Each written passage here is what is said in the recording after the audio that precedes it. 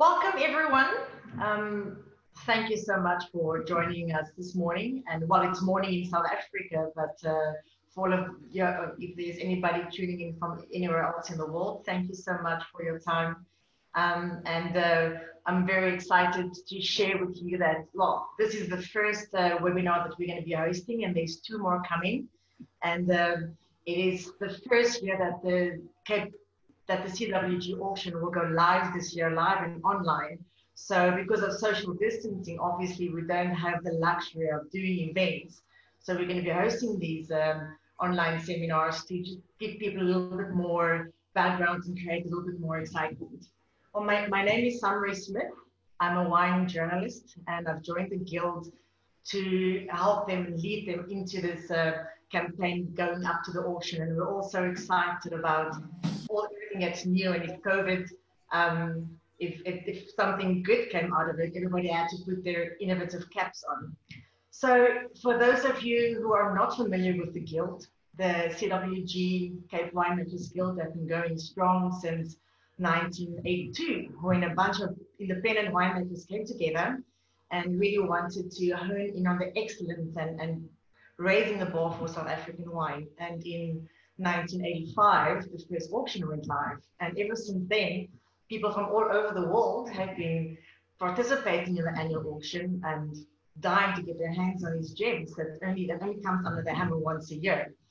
And um, but what a year it's been. I mean, um, everything has been turned on its head with COVID. And apart from surviving a lockdown, the South African wine industry had to overcome two bans on, on alcohol and uh, making South Africans thirsty for wonderful wines. But thank you to everybody all over the world who supported us and supported us with the Job Save Life campaign and everybody all over the world just continue drinking South African wine.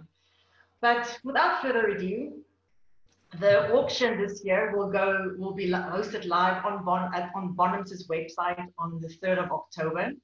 So people will have enough time to register and uh, people can tune in from all over the world and watch the auction live from wherever they are in the comforts of their homes. And that's quite exciting. Um, this year, things will be done a little bit differently. The first six wines of everyone that will be on auction this year will be donated in support of Samantha O'Keefe, one of our members who sadly lost her whole farm and house and most of her vineyards in a devastating fire this year. And apart from that, something more that's exciting is that we have also the Vinotech auction this year. This will be a once in a lifetime auction where featuring amazing wines from previous auctions. And all the money raised for this will also be used to help members assist those employed by them and those who's dependent on a salary from the wine industry. So a lot of good things that will come out of the auction this year. And uh, but don't uh, those of you who've been thinking about, and we're going to do a poll soon to just see get an idea of who's joining us online. Because those of you who are interested in following a career in wine, don't let all this drama of this year um, discourage you because there's a lot of opportunities, even more this year following all these disasters. So the poll will come on your screen soon. Just tick the box of that applies best to you that we can get an idea if you're a student studying winemaking, if you're a winemaker. And then as we go along, and I'm going to introduce our panelists soon, then uh, feel free to send us questions, take part in the conversation. The chat is disabled, but you can do a Q&A and we will try and answer all your questions to the best of our ability. Right. So the first topic today is choosing winemaking as a career. People think that it's a lot of, it's very glamorous, but actually you've got to get down and dirty and get your hands dirty. And it's a lot of practicalities involved. And you've got to really put your heart in it to want to go and study winemaking. So to put everything in perspective, we've got Duncan Savage. He is one of our active guild members. By the way, the guild membership have now grown to 46 members of which 42 are active members. So we're going to have Duncan giving us a little bit of an idea of what it was like when he studied um, as a student. And uh, with him, we have Kiara. The two of them work together every day. And uh, she's a graduated protege and a beautiful story to tell of how she came into wine. And then we have the very famous Lorraine Geldenhuys. She's a winemaker and a lecturer at Elsenburg College. Um, a wealth of knowledge and with a very beautiful story of the relationship between student and, uh, and lecturer. And last but not least, we have Kelsey Shungking. Um, she's currently in the protege program. So she can give us a bit more of a real-time idea of what it's like. So to give you an idea of what the protege program is about, I mean, this project, um, South Africa has gone through a lot of changes. And to be a part of that change and transformation, the Nedbank Cape Winemakers Guild Development Trust was formed. And one of the legs that this stands on is the protege program. So this involves bursaries for postgraduate students and final year students. And then the aim is to, to find these proteges and people that really excel and motivate them to enter or to apply for this program. So it's a very interesting program. And uh, but let's start with Duncan. Duncan, you mentored uh, Kiara and there's a beautiful synergy between being a mentor and being a protege. But give us a little bit about, tell us a little bit about yourself. Yeah, so I've got a Duncan Savage, as you, have already said, and I've got a little wine business in the in the heart of Salt River in Cape Town, which is uh, not your normal little place. But um, I mean, I just I got into wine because I I just fell in love with the product. You know, I studied other things beforehand and uh, had no idea about it. You know, other than just you know being a lighty and wanting to have fun. And uh, and then you know as you get a bit older and you start to taste great wine, you start to realize that there's there's something amazing about it. And, and once you get hooked, it's it's fantastic. So obviously, I started my journey, you know, um, going through the whole Elsenburg thing, and then getting a job and getting into the career and all of that, you know, into the winemaking side of things, which was fantastic. And and then you know, come 2007, I was lucky enough to become like what was my biggest dream when I was at Elsenburg was to become a member of the Cape Winemakers Guild and um, and you know you get recognized by your peers, which is such an amazing thing. So so that happened for me in the in the early 2000s, which was great.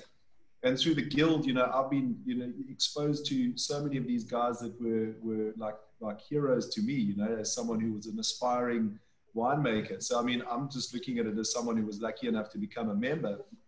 Obviously, the protege program is is sort of extending that even further than the membership base but it's quite cool because you know we'll do tastings and and you know I'm sitting next to uh, you know a guy like David Trafford who who was like someone I looked up to as a as a youngster who's now like a mate. And it's mm-hmm. um, and it's so cool you know to be able to phone these oaks anytime um, and and discuss things. And I think that's what the guild does is creates a great platform for people to be able to learn. And then when the protege program came into into to, to being I mean it just as I said it spread that knowledge even further into to, to you know young aspiring up and coming winemakers who, who have a thirst for knowledge and a, and a and a passion for the industry. And it's, you know, it's, it's the, the passion is one thing. I think when people are super young, Lorraine can maybe, you know, highlight this a bit more, but the passion's not always there until you start to get exposed to these great wines. And, you know, once you, you taste something that blows your mind, there's no turning back. And I think that's a thing. So, you know, the guild is, is allowing people to come into it in a circle almost and be able to taste these incredible wines with people with amazing knowledge and all of that. So, so I was lucky enough to have Kiara come and work for me. She worked for Savage for two years um, as assistant winemaker when she finished the protege program, um, which was great. It was, it was new for me because it was a new home in Salt River, a young business. Um, obviously, you know, I'm getting a bit grey and old these days, so it was nice to have some youth into the business, which was good. Um, and then, so she worked for me for a bit, and and uh, and now she's, you know, Kiara's tell you a bit more about her her background, but moved on to Brookdale. And I've actually got what a lot of people don't know is there's another uh, a, a, guy who worked for me uh, for a year in one of his protege years, uh, Banele Vakele, who is now my assistant winemaker at Savage Wine. So We've had two proteges as assistant winemakers in our short history. And, you know, all of those guys are coming into the setup with a, a pool of knowledge from, you know, all these other guild members that have, have, have welcomed them into their cellars. And it's been amazing. It's been a great experience.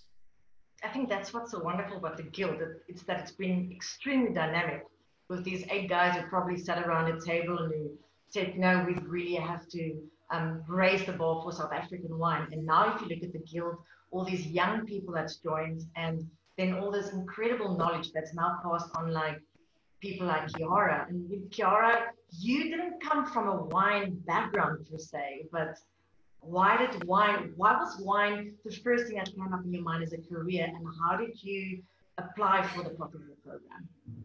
Um, so as you've mentioned, I didn't actually, I don't come from a wine drinking background. Um, I come from Mitchell's Plain, so there they drink beer, for example, or other hard liquor. Um, so that was, it was quite interesting for me to see, you know, how people were living and what they were doing. And uh, I didn't, I didn't want to live like that, but I was curious about why they were doing things, you know, why. And also in my family, there were also people that suffered. I mean, this is not a very happy story, but it's the truth. Um, that also suffered from alcohol abuse and things like that.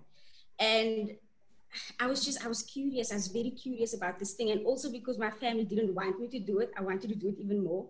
So I was young, you know, and a bit rebellious at, at that time. Um, yeah, and I was just, I was interested in, in winemaking. Yeah, and then I, I ended up at Elsenburg where I was taught by Lorraine. Yay, thank you. Um, yes, and then I was approached by Magda, and she is the representative of the Cape Winemakers Guild Protege program, and she came to talk to us about the program and about the bursary. Um, and I applied for the bursary and I was successful. And then thereafter, Lorraine also came and spoke to me about joining the Protege program um, and applying at least for the program which I did. And then I was successful and I worked for some amazing people.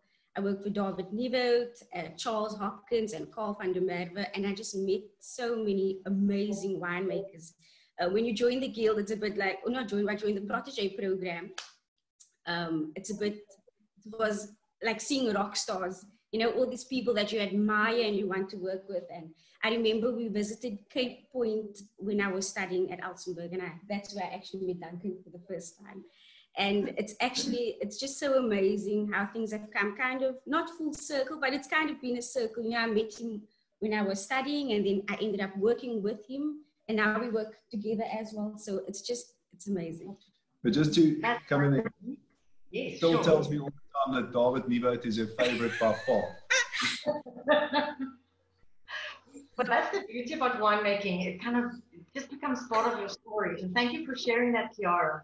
And uh, um, what what did you learn from from Duncan being his protege? Oh my word! Um, where do I start? that influenced you as a young winemaker because I mean you've already made your first wine at Liddell.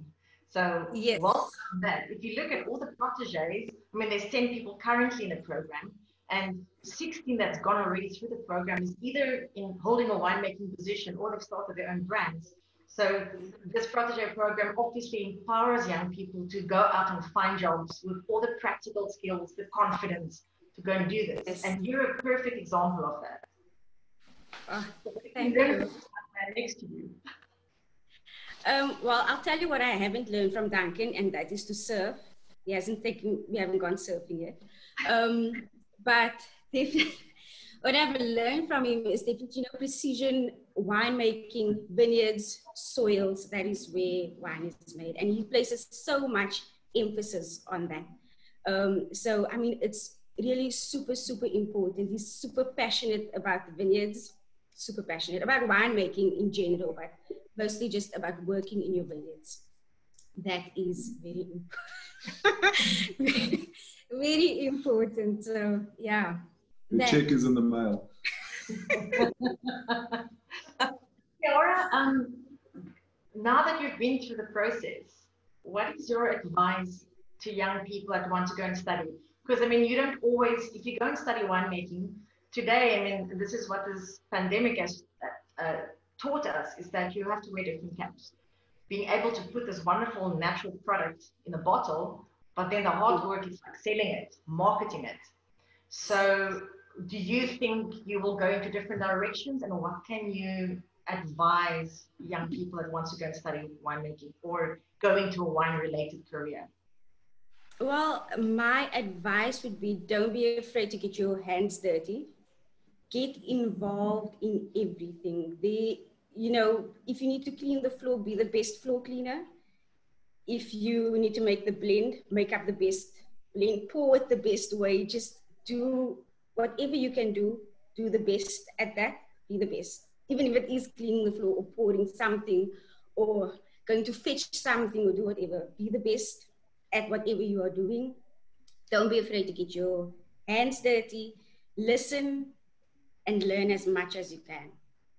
Yes. Wonderful. In everything. Interestingly enough, both of interestingly enough, both of you went through Elsenburg College. Now we know that this protege program opens up bursary for to go to either Elsenburg or to go to Stellenbosch University. And both of you have been through Elsenburg, and we've got Lorraine Geldenhuys. I mean, if anybody have any doubt about whether they want to go full time into winemaking, she's the one that will op- that will convince you. I mean, she uh, they've just planted vines in the Karoo where nobody thought you could plant vines. So, Lorraine, just quickly tell us if people come and study winemaking, what can they expect studying full time? Sam, um, I like that question because it sounds pretty straightforward, but I don't think the expectations are always that straightforward. I think what an aspiring student expects and what I expect, and Kiara would probably be able to say are two vastly different things. Um, I think in, when, when a student comes to study winemaking, they expect what's listed in the prospectus, right? They want to know the technical know-how of how to make wine, um, you know, the different styles, international wines. And that's right, that is what we are going to teach them. But I think my opinion is that this is rather limited. Um, having just this in life will leave you um, dissatisfied, bored, disconnected from an industry that's got a real heartbeat. And I expect them to tap into the rhythm.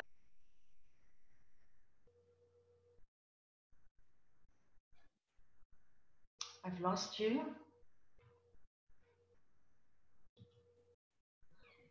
I've lost you. I'm back. I'm back. Gotcha. so what I am, uh, what I'm expecting from the students uh, uh, that's studying winemaking is to tap into this rhythm of winemaking that is specific to each vintage. And each team that you work with has got a specific heartbeat. So the stu- I expect quite a lot of them. I expect them to understand that time during harvest is an absolutely irrelevant concept. I often, I don't, I don't know if you remember Kiara, but I asked you guys to take off your watch and not to focus yes. only on the seconds and the minutes and the hours of the day, but to focus on the people that you work with. I expect them to be on time. I, I expect them to, to take full responsibility for the wines that they will be making. I expect them to trust each other. I expect them to involve their parents because what 21 year old are going to involve their parents when they are studying? But in this industry, that's a good place to start because wine is all about involvement. It's about putting a glass of wine at a dinner table with engineers and doctors and plumbers and talking about the wine and sharing it. So involvement and communication is key. Um, I also teach them, I also expect of them to have a respect for this industry and to have a respect for alcohol and to respect themselves. But most of all, Sam, I expect them to pay it forward. Very important. And that kind of brings me to somebody I have a question and they were saying we put a lot of emphasis on winemaking, but we're actually coming to that. And you and I have had this discussion yesterday about teaching these students a relationship with the soil. So uh, there's a lot of more emphasis needs to be put on people that want to, that's using viticulture as a career. And I mean, there's been so many changes in that, and, and there's been so much improvement, not only in South Africa, but all over the world um, really understanding the relationship to the soil and, and the vines. And but how do you teach something that's so holistic to get them excited to go, say, in the direction of viticulture? It's very easy. You just take them to the soil. Um, we don't teach about the soils and that holistic approach in the in the classroom. Um, I maybe we can speak about it in a moment, but we just came back from our team with my team in the in the very remote part of the Karoo where we planted Grenache in the in the driest conditions of South Africa. We get 20 millimeters of rainfall. And I took them there with Rosa Kruger. She was with us for, for a few days to, as they consulted, not my cons- just to help them. How do we? So, so you, to answer your question, I take them to those areas where we work in the land. Um, I think this culture of understanding and respecting the soil, where where what we consume, um, to have a respect for what we consume, will take time. I think it's embedded in a culture, and the European culture and the South African culture are vastly different. So it will take time. I think um, we have the ability to witness the beautiful annual cycle of a vine that's growing and and my job i believe is just to tap into those rhythms of those annual cycles and to show the students what is it like in spring and winter and summer and to be willing that's the thing and to be willing to do the backbreaking work that is expected to be done in a vineyard and and duncan knows that and kiara also because they've done a lot of vineyard work and i think it's just raising more being more aware and being more conscious. And COVID really helped us to have a better understanding and a better connection with the stuff that we consume, whether it's food or wine. Um, how do I teach that? I don't reinvent the wheel. I work with passionate individuals who are expert in the fields um, if it's Swartland, I'm, i will work with, for example, Andrea Mullineux, who's the chairperson of the Cape Winemakers Guild. I know she's listening also. I would work, if it's biodynamics, I'll work with Johan Reyneke. If it's development of a vineyard, I'll work with Rosa. Um, just two months ago, I had an email from Cathy van Zyl where she sent me an email saying, how can I pay it forward for the students? You know a little bit what I know about wine. How can you use this? I'm making it available for you. Use it however way you want. I said, Cathy, why don't you present me a tasting for the students and we'll open it on the internet about the wines of Spain? She said, you know what, I'm actually quite busy with Platter at the moment, but how about I put you in contact with Sarah Jane Evans from the UK? And, and she did the most amazing lecture. So that for me is tapping into the network of the wine industry and just giving the kids, the students opportunities. So far, there's been, thank you, Lorraine. So far, there's been 24 proteges through the program and you've had the opportunity to work with them. And I think a lot of people must realize that to get into the program, it, it's all about merit. You really have to work hard and to prove that you know this is something that you your heart really desire. Um, your experience, do you, people walk out of there equipped to go and do their own thing, or do you think they are still a bit scared, um, having to find their way? How did you experience the proteges that's graduated and that's been in your classes? I think, Sam, it's different for every person. We, we come from such vastly different backgrounds, and each individual is going to experience that differently. What I do think, and Kiara can, can confirm this, is that the Guild, the Guild's protege program provides opportunities to develop two things your personal life and to gain a better understanding of the, the knowledge on wine. This helps you to solidify your identity, which mm. provides you with confidence. Confidence because the world of wine can be very intimidating. I had a dinner last night where people said, Oh, yeah, but I don't want to speak up because wine's so intimidating. No, because the moment that you gain confidence to speak with authority, um, that becomes less intimidating. And that is the opportunity that I think I provided Elsamek, but also something like a project like the Protege program.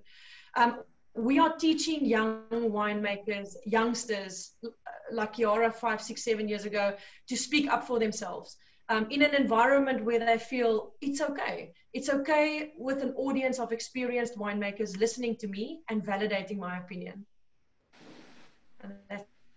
We've got a we've got a question for you, Lorraine. Um, what is the most challenging thing that you've had to experience in the industry.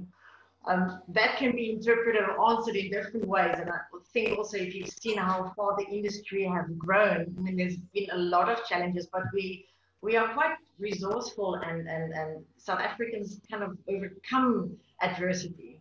So in your opinion, what's been a challenge for you as a winemaker, maybe as a woman as well, but somebody who is in this wine community? Um, mostly the government. what is that? No, I'm kidding. But no, you're not. Um, the biggest. I shouldn't bite the hand that feeds me. I'm kidding. I'm just joking. And even that, even even the even it is a challenging environment working for the government but i think this is part of the success story that even with these challenges we are getting things right and it's because we want to get it right. We are finding ways to make things happen. We're not waiting for someone else to do the work. Um, uh, sam the biggest challenge for me is i want the university and Elsenburg to work better together. And and i'm before i before i leave this world, I'm going to make a difference in the university students as well. Because um, they enter the same wine industry once they are finished with their degrees and they deserve the same opportunities. Um, that is that is that is my biggest challenge. I studied at the university and I want to give them a better future as well. Um, I want to, and I think they need more people that believes in them and and that help that will help them grow. This is one industry. There's no Elsenburg and university. It's one wine industry. When we when our students go and work overseas, we go as we, we leave as a South African. We don't leave as an Elsenburg or Stellenbosch. So, so I next week Tuesday, and you are involved with that tasting. I'm inviting ten students from only Stellenbosch University that has just finished graduating um, at my house, and this in this room we'll be sitting and we'll be tasting, I said, pick a topic. So next week we are tasting through Piedmonte in Italy, and we're going to have a brilliant discussion. And that is the start of, of connecting this industry and making it closer together. I'm tired of, of having an Elsenburg and Stellenbosch. We are in the same boat. You know, I think everybody on this panel can vouch that the South African wine industry and communities, if Black family is quite close knit and we you can pick up the phone and somebody can answer your one question for you. You don't have to go and Google it. And we've all traveled quite intensively, especially looking at wine all over the world. And we're really living in this like lush, beautiful wine industry that's got so much potential. And we really have to sit up and be ambassadors for this industry. And, and I've got a question for myself asking where they can get somebody that mentors them as a wine writer, well, you're more than welcome to come to me. I think there's so many there's so many stories to be told about our wine industry and how far we've come. And Kelsey, you are currently in the program. Lorraine, I'll get back to you in a second. I've got some, another question for you. But Kelsey, you're currently in the program and you also had to go through the whole process of applying for this program. And uh, you said you're the first, you will be the first generation of winemaker in your family, but you've got a very interesting cultural background from roots in China to Namibia to Germany. So I can just imagine the kind of wines that you'll come up with. But tell us how you how you decided to, to go study winemaking and um, um, and then your experience thus far in the program. Um, well, yeah, you are right. I've got quite a diverse uh, family background. My father's side is uh, my grandfather was Chinese, and he married a South African lady, and then my mom is completely Namibian, um, with her father being German. So we're all over the place, um, but also no strangers to farming. Uh, my great grandfathers they farmed, but I will be the first winemaker in my family, or suppose I am pretty much on my way already. Um, but for me, like I said, winemaking, um, not in my family. I'll be the first in, in my family to do it. I was actually in Stellenbosch enrolled to um, study human life sciences in my first year. I never really thought about wine as a career. I never really knew that I could study wine as a career. In the schools where I came from um, here in Cape Town, it was kind of like doctor, lawyer, accountant. What else can you do? Um, so just before I enrolled in Stellenbosch, my mom took me to visit the university, and I remember we walked past the enology building, the JH Neethling, and um, she just pointed to it and she was like, "That students in there, they study wine and they they make wine in there," and it just blew my mind. I just couldn't believe it. I had no idea. Um, and then it took maybe a few months for me to just immerse myself in the wine culture in Stellenbosch, and I was so blown away that I didn't even finish my first semester of human life science. I was like, oh, I'm talking to the faculty head and I'm changing my degree. And I think it's been probably the best decision I've ever made for myself. I fell so organically into my faculty and now into the industry, and I love every part of it, every minute of it. Um, and I was welcomed uh, with open arms by my classmates who are now some of my closest friends. So overall, was just like I said, the best best decision I could have made. Um, and also the protege program, um, similar to Kiara, I was um, approached by Magda. She also came to speak to us at the university. And I was approached to apply for the bursary in my third year, which I did. And then um, also in my fourth year to apply for the protege program um, which I was quite nervous for because it's quite an extensive um, interview process. You go for an interview with the trust members, um, you do like a wine tasting screening with uh, Louis, who's the chair of the program, and Magda. So very nervous, very nerve wracking as a student, as you can imagine. Um, but uh, it was at the um, auction, pre auction tasting, I think I was pouring. Um, I was helping out as a student pouring, and Magda just came behind me and she said, Can I tell you something? I was like, yeah, what? And she said, no, you're on the program. And it's just been bliss from there. Um, yeah, my experience so far has been great. I worked last year, my first year with Louis, uh, Louis Strydom at Ernie Els. Um, there I learned all about cabs, Bordeaux blends, Shirazes, um, red wines, extraction. And this year I'm with Charles Hopkins at De Grendel. Um, Kiara can also vouch for Charles has been a great mentor. Um, he we're busy here with some cool climate wines. Um, I also feel like I learned a lot here at De Grendel in terms of regions because um, of all the different parts of of our Cape wines that we get our grapes from, and also um, Charles's winemaking styles, Louis' winemaking styles. You learn something different from all the different winemakers that you are with, and you take something with you from each year. Um, I also had the opportunity actually to do my university uh, internship with Boela Gerber, who um, is also on the on the Cape Winemakers Guild. He's also a fantastic mentor, and um, I'll always consider him someone that I can phone and ask uh, anything about wine or um, any advice.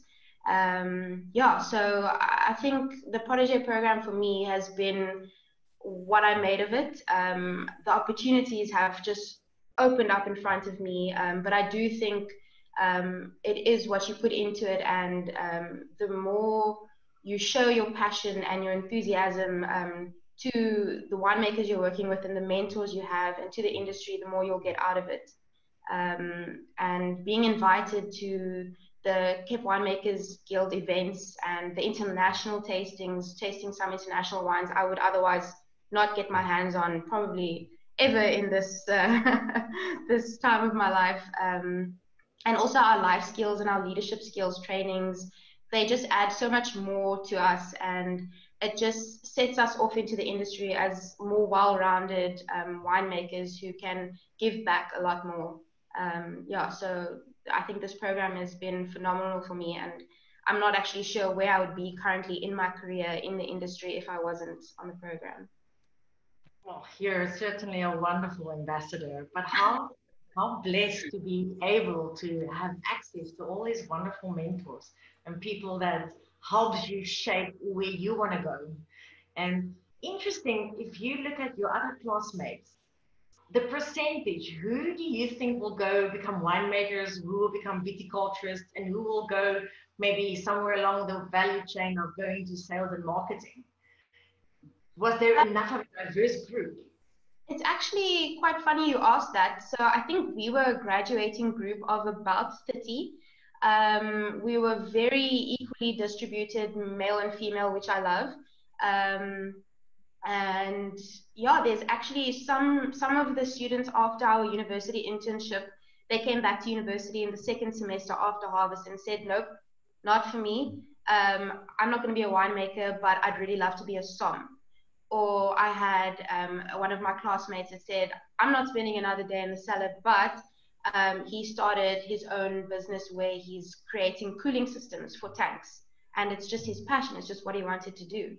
Um, and I just feel that there, like, even though we all went through the internship process through our degree, um, not all of us came out on the other end wanting to be winemakers but they found what they wanted to do in the industry still um, through still going through uh, you know studying studying winemaking um, there's a few there's a few classmates of mine that's into viticulture one of my classmates is lucretia she's also on the program as a viticulture protege Um, and yeah, I, I, can I can think of a few that was into the viticulture side. I wish there were more.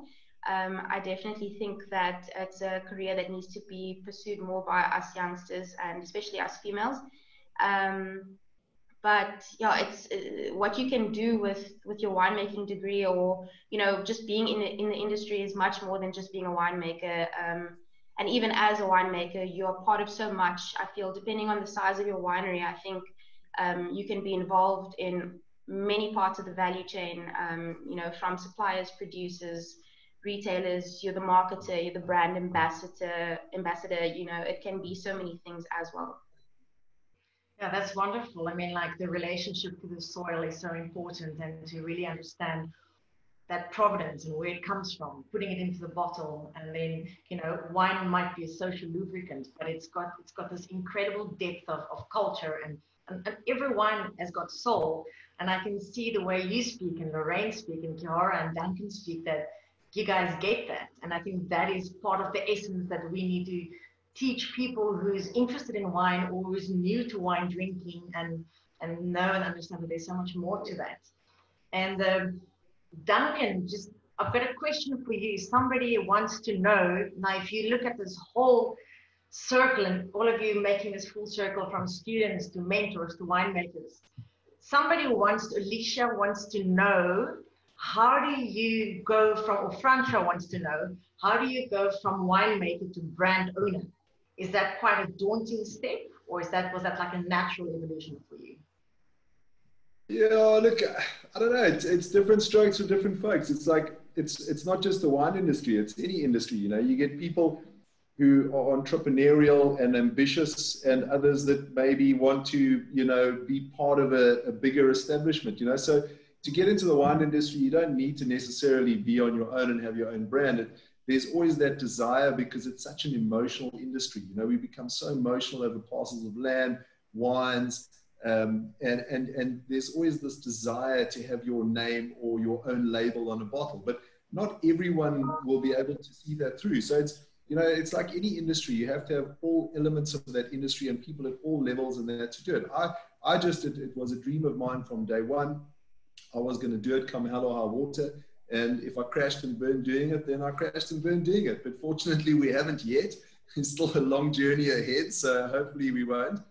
But um, it's awesome. It's, it's super rewarding. And it's, it's, as everyone said, I mean, it's, it's an amazing industry. There's an amazing camaraderie amongst the industry. People are always willing, I mean, a, a lot of you have said it already. People are willing to share information all the time. People are super friendly. Even if they're not that friendly after a glass of wine, they become more friendly. You know, so it's it's just it's you you kind of have to like know your customer as well you know? It's like knowing the person you're going to go see. So it's uh, in the industry if you're looking for advice. But i think it's it's just as i say it's, it's super rewarding very challenging. I mean it's not i think if you if you want to get into the industry for the wrong reasons you're going to have a, a, a rude awakening because it's not quite um, it's not just super easy. It's not just going to happen. Your wines aren't going to sell this, themselves you know you need to work hard but but that applies to any career you know whether you're an accountant or someone who builds boats or, or whatever. If you if you're not prepared to go the extra mile, you'll never be the top of your game um, or good in your field. And and it's just a thing. Hard. There's no substitute for hard work.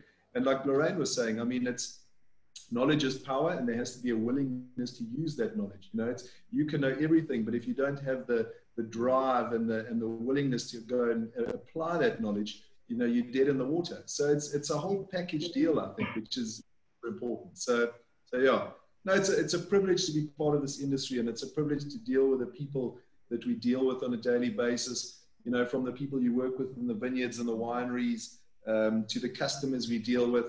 Um, it's fantastic. Wow. Well, as a journalist, I can say that. I mean, there's always something to write about. This is such an incredible. I feel very close to this industry. It's almost like a family, and there's always, as I said earlier, you can always learn more from everybody and to see, I mean, Lorraine, you like in the hot seat to see how far things have come in, in terms of quality and standards. I mean, all over the world, you can ask the question and people will say South African wines over deliver at price points. And the people are a little bit afraid of paying a premium price. But if you know what's gone into it and if you understand this whole process of where we've been and how far we've come, you'll understand why South African wines can fetch these high prices. So if you have to look at the industry in 10 years from now, where do you think or how will we be viewed on the world platform as a wine country?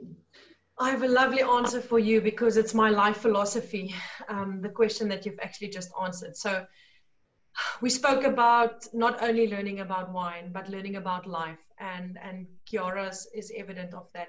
We're, we're at Elsenburg and you don't only learn about wine. I asked my students over this weekend, Chris Strayer, I know that he's listening. I asked them, what percentage of this year do you think is actually about winemaking?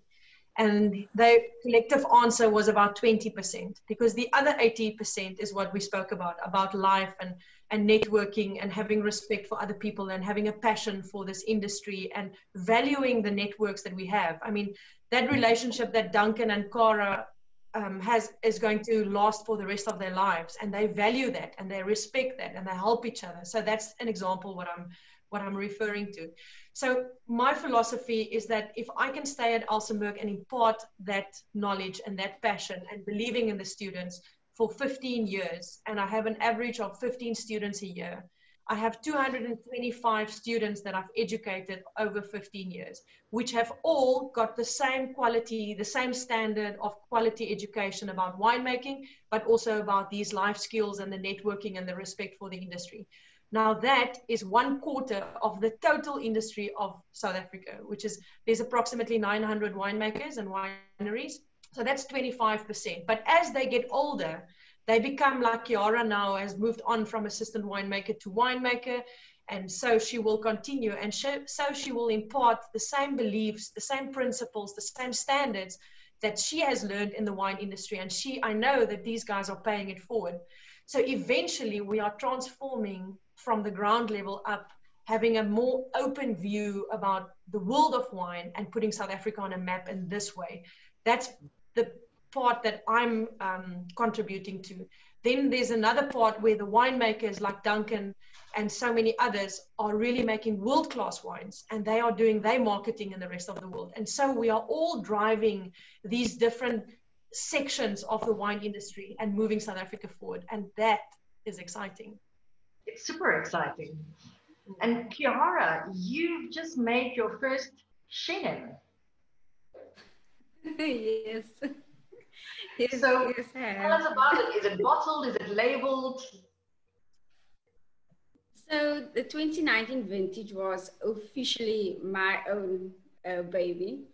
And um, it is quite exciting and daunting at the same time. You know, it's a, you study and it's kind of like oh you want this moment and then when you get there it's like whoa it's it's actually very big it is really really big um, but i'm so lucky i'm so blessed to have um, so many people like duncan for example who's there who can help um, like charles as well call i can just pick up the phone and you know i need this or that um, so yeah it was quite exciting um, yeah very exciting to make the Chenin and it's looking really good. Try it. I'm a big Chenin lover myself. It's just like Chenin just wants to do everywhere, well everyone in South Africa. And it's probably one of our calling cards. It's something we really, really do well. Um, and Duncan, if you look at uh, Kiara, what have you learned from her? Because it's quite interesting that you've got all these, I mean, like you're a little bit over, you know, outnumbered by ladies here today. But if you look at the, the general stylistic um, changes in winemaking, do you think the younger generations are going to choose a different style of winemaking? What have you learned from Kiara, or do you think um, they will go the more traditional route? no, no, that's why I'm being quite quiet today because I am quite outnumbered. You know, I've got to watch what I say. But um, listen, you know, the thing is, is that the, the industry, it's like, again, it's like any industry. There's this, there's constantly new people coming in that must challenge the old guard. If everyone just did the same thing from one generation to the next and made the same wines, wine would also suck. So, you know, you, you want to be in a position where everyone's constantly challenging, innovating. And, and, and that's what Kiara did. She had a lot of questions. You know, she came from working with people like, like I tell you know, it's, a lot of us sometimes even though we've been in the industry for a while, you, you keep your cards not only not really close to your chest, but you don't. There's certain questions that even you know you feel crazy asking someone because you know you think, well, maybe I should know that by now. And then you know you're having Kiara in the cellar now. She's worked with guys like David, Carl, Charles. I mean, a guy like Charles is is is. I mean, Charles is, is amazing. He's he's always willing to share his knowledge and all of that kind of thing. So you learn from what her experiences were in those different cellars and some things that we've implemented in, in the wineries, you know, that she learnt in her time. So I think it's, you always, winemaking is something that you've got to approach with an open mind. You, you've always got to be willing to learn, willing to adjust. Every season is different. You know, the, we just have to look at the last five years in terms of rainfall in the Cape, how we've had to adjust how we work. I mean, how, you know, things can affect pHs, all that kind of things. The way we prepare soils these days, the way you know, in the old days, it was very different. People didn't just phone up their local supplier and things got delivered. You know, they made their own compost. They relied on animals on the property. These days, it's become much easier. You send an email or you, you make a phone call. So there's a lot of adjustments into in terms of, of how things are done. How do, you know how do we look to what was done in the past to to go forward? And I think the wine industry that's the most it's it's super relevant because you know it's we we think we're relevant in this game um, and you've got one little go at it for a few vintages and then you die and someone else carries on. It's been done for thousands of years, you know, and and it's um, there's so much to learn from all the people before us, you know, and the new people coming in. So yeah. Regardless of age, I mean, what we won't do to um, to to create some hype uh, about the wine industry, and I've I've heard through the grapevine that at some point Duncan you slept in a wine tank in the middle of the V&A waterfront to raise awareness. What was that about? Well, it was actually to raise money, but um, we raised no money. Just basically had drank too much wine every night and met so many cool people. No, but that, that's the kind of thing. I think the industry is, you know, there's a there's a super fun element to the industry as well. I think sometimes what happens, and, and, and Lorraine mentioned it earlier, people in the industry can often take themselves too seriously. And and I have mates, you know, I'll go to a braai and a mate will say, oh no, like, well, why don't you bring a bottle of wine? No, no, I knew you were, I knew you were going to be here, and I thought maybe you'd judge me for the wine I brought something. It's not what it's about. You must drink what you like. And I think, you know, that people, there's there's such an amazing, there's a serious side to the industry, but there's such a fun side to this industry as well. Like I said, with the camaraderie, we sell something that also makes you feel fantastic so that also plays, you know, into the whole thing. So we do these like events around the world. We travel, you know, you, you're socializing with clients and, and, and all that kind of thing was great. So that, that story at Elsenburg was, you know, this, it was hooked up by a bunch of mates sitting around a table, you know, doing a wine tasting. And obviously, you know, when you're a student, you don't just taste, no, you're going to drink, drive home. You staying in Elsenburg at, in the Corsair's just like a few steps away. So we drank a bit too much, I have to say. We did that quite a lot, in fact. But um, it was fun and we had a good time and we hatched this plan of living in a wine tank and we did it for five days. We convinced this guy, one of the tank suppliers, to deliver a tank right next to the old Vaughan Johnson shop. Um, it wasn't so pleasant in the day when it was hot, but at night time it was fantastic. And, uh, and we met great people. And, and that was the biggest thing about that is we, we, it wasn't successful from what we initially set out to do in, in raising cash but where we had success is we met amazing people in the industry and we, we built up contacts at a very early stage of our career. So, you know, I mean, I'm sure Lorraine, you know, with the students, it's, it's something that I think in the old days you, you went through, you learned about winemaking and, and, you know, I don't know what all happens there today and then obviously, but it's changed a hell of a lot. These people are realizing that these days it's not about just getting your diploma or your degree. You've got to know how to socialize, as Lorraine said earlier, interact with people, and, and most importantly, sell because you can make the best wines under the sun. If you can't sell them, because let's be honest, I mean, wine, there's a lot of good wine out there, but a lot of it is around the story around the wine, how you portray that image and, and, and how you sell it. And, you know, if you, if you don't have that social interaction, then it's, it can be a, a problem. You need to, and it doesn't have to be living in a bloody wine tank, but I mean, there's many ways to, to get to know cool people and do cool things. Yeah we had fun. Thank you. Thank you. Yeah, Kiara and Kelsey, you the two, you know, ambassadors that's going to have to put the word out there and get young people interested. And uh, one last question, Kelsey. Are young people drinking wine? people your age, are they really interested in drinking wine? Um, I definitely think they are. Um, not even just my wine circles of friends that I studied with or people that are, you know, that I've met through industry. Um, I definitely think that young people are interested in drinking wine. They want to know more about wine. And um, I think the hard part is is the education behind it. And people are so shy to grab a bottle of wine off the shelf or or bring it to a braai, like Duncan's saying, um, because they're like, oh, you know, what are people going to say about this? Does it have to cost more than a hundred rand? You know, um, so I think it's very intimidating, but it doesn't have to be. Um, but I do think there's a growing market uh, with the youngsters and wine um, because I do, I feel because of probably, you know, the digital era era and social media, it's becoming more accessible to know more about wine and um, people are making it more inclusive as well.